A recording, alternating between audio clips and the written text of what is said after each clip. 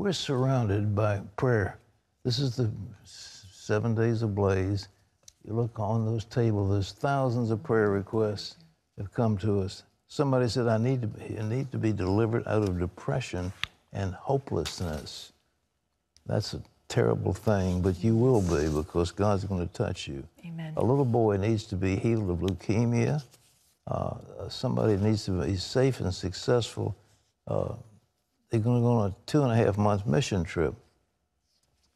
Somebody uh, has a brain tumor, uh, and somebody needs to be delivered out of, uh, well, I said depression and hopelessness. You got some? Yeah, this person needs total healing and restoration from pneumonia.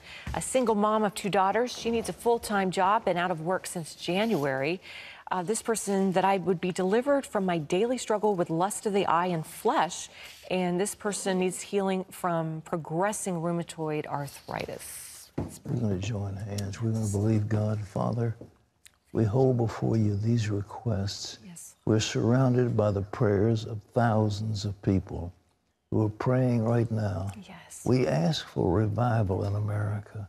Lord, there is so much evil that is coming to the fore. And we, we don't want your judgment to fall upon this nation.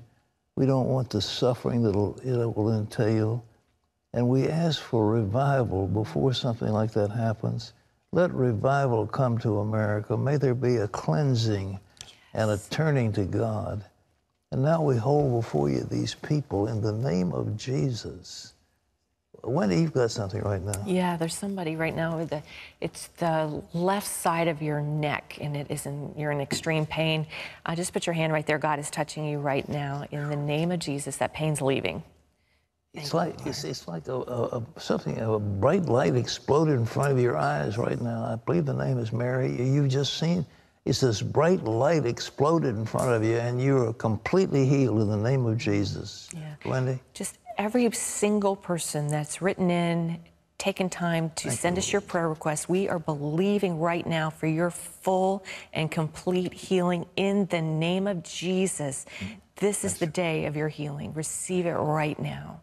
Praise you, God. a groin uh, injury. Um, there's a swelling in your groin. Put your hand right down, and right now that that swelling is going down. In the name of Jesus, you're healed. Thank you, Lord. Amen. Amen. Praise And Jesus. amen.